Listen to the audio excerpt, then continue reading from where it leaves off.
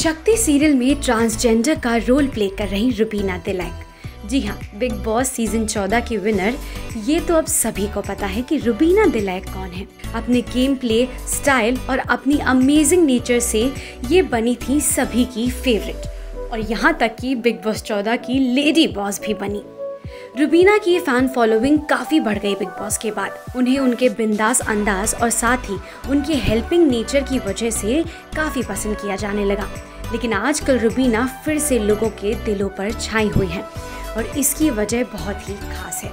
आपको बता दें कि लॉकडाउन के कारण बहुत सारी कम्युनिटीज़ को हार्म हुआ है, लेकिन एल कम्युनिटी पर काफ़ी इफ़ेक्ट पड़ा है। तो उनको मदद के लिए रुबीना ने किया है अनाउंसमेंट कि वह अपना बिग बॉस का प्रीमियर और फिनाले गाउन करेंगी सेल। सेल के आए पैसे से वो एल कम्युनिटी की हेल्प करेंगी। वह यह काम जल्द से जल्द प्राइड मंथ में ही करेंगी। रुबीना अक्सर ही हमें ट्रांसजेंडर कम्युनिटी को सपोर्ट करती दिखती हैं। वह अक्सर ही लोगों को इस टॉपिक पे अवेयर करती हैं और पॉजिटिविटी भी फैलाती दिखती हैं।